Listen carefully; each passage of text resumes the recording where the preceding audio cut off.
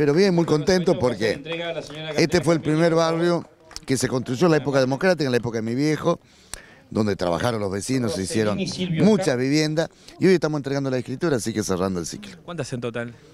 Y más de 25 escrituras, hay mucho más para hacer. Este es un programa que hemos lanzado en esta gestión de que todos los ciudadanos y ciudadanas paranaenses que están sobre terrenos municipales urbanizados tengan su escritura. Eh, señalaba la importancia de este hecho, digamos, sobre todo para la vida, vida de estas personas. De regularizar, de ordenar.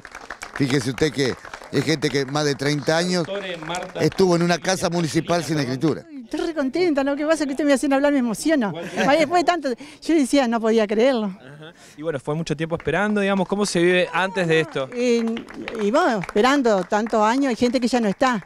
Pero, todas las comisiones que subieron, yo le quiero decir que insistían, insistían, insistían, insistían, insistían, hasta que lo llegué a él y se hizo. ¿Y qué siente uno ahora, digamos, como ya teniendo los papeles, digamos? Estoy emocionada, por eso no, estoy emocionada porque no lo puedo creer que tengamos la escritura, la verdad. Estoy emocionada y muy contenta. ¿Viviendo acá hace cuánto tiempo? Y desde el principio, desde el principio, desde que nos entregaron las casas vivo acá ya. ¿La familia ha pasado por ahí? Claro, todo por acá.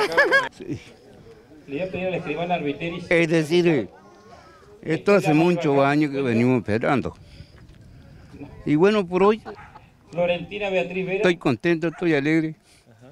Por lo menos ya tenemos la casa propia. Muy bien. Bueno, muchas gracias. Le agradezco mucho al, señor intendente.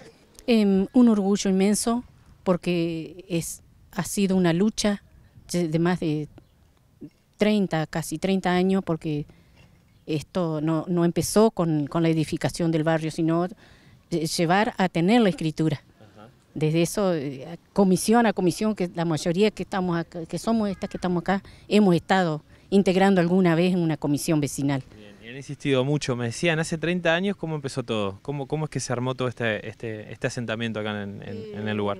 Eh, nosotros anteriormente vivíamos en calle Diamante y Babio, y de ahí él nos trasladó acá.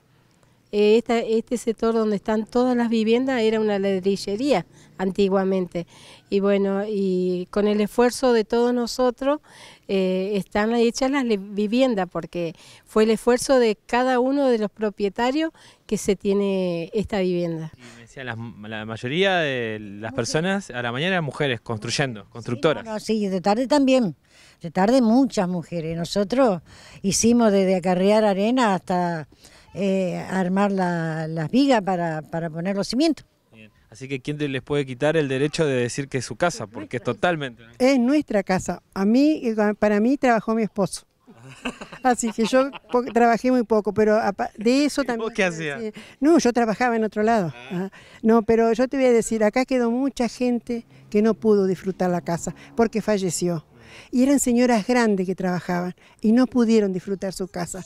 Eso es lo que sentimos todos porque 30 años es mucho y los gobiernos no no nos hacían caso o no nos prestaban, no nos prestaban atención, que nosotros necesitábamos nuestro lugar. Gracias a Dios hoy lo, tenemos. Notablemente emocionado.